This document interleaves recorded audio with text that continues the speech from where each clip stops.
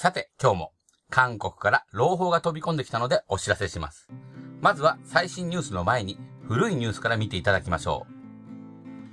要約すると、2013年1月15日、韓国海軍が関西ヘリに AW159 ワイルドキャットの採用を決めたと発表。購入したワイルドキャットは合計で8機です。イギリス軍以外での採用は、実は韓国軍が初めてなのです。ワイルドキャットには、ソナー、捜索レーダー、光学サイト、救助ホイストなどが装備され、対艦ミサイルや魚雷、機関銃などを搭載できる。まず、この時点で想像できるのは、韓国軍の定番である4個1。8機購入したということは、つまり稼働機は2機で、6機は部品取り用だよね。これ、常識だから。さて、イギリス軍のヘリならば、韓国が作るよりも安心安全です。韓国軍って頭いい。これで韓国の海の守りも鉄壁だとならないところが面白軍隊ですよね。購入が決まってから9ヶ月後の10月にこんなニュースが飛び込んできたのです。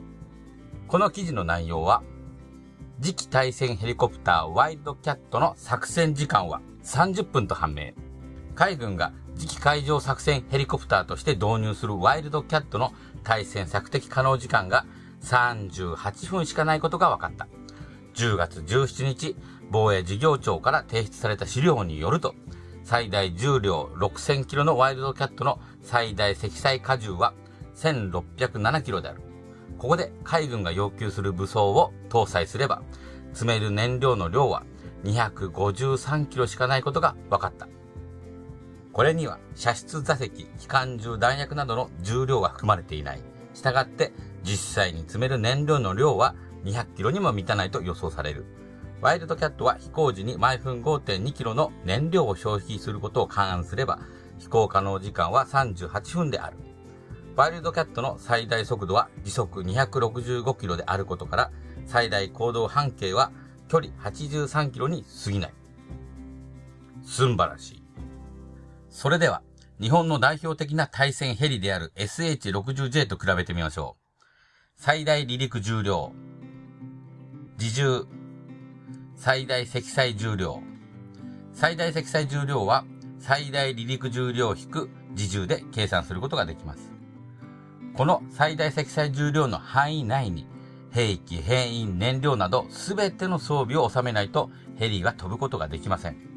記事の中では燃料を除く装備は1354キロであると言っています。そして1354キロには弾薬などの重量が含まれていないということも書かれているので、副装備として100キロ追加しましょう。残った重量が燃料を搭載できる量になります。つまり、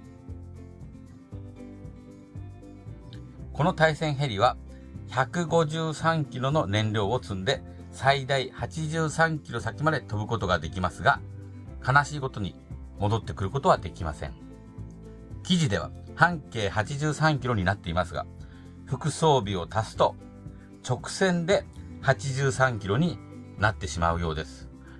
某国には神はいないのか某国には技術者はいないのか某国には足し算ができる人はいないのかいないのでしょう。さて、なんでこのようなことになっているのでしょうか？イギリスで運用しているワイルドキャットを見てみましょう。乗員2名で武装マウント対艦ミサイル魚雷は搭載されていません。ワイルドキャットは中型ヘリであるため、この写真のように捜索レーダー、光学サイト、救助ホイストなどをつけるのが精一杯なのです。韓国軍はさらに乗員を3名にした上に、夢の重武装をしたので飛べるわけがありません。心優しい私ですが、いい加減にこの人たち大丈夫なの？とちょっと疑い始めてきました。韓国軍に必要なのは新しい兵器ではなくて、これでしょう。まずはこのゲームで基礎からお勉強が必要でしょうね。それではまたお会いしましょう。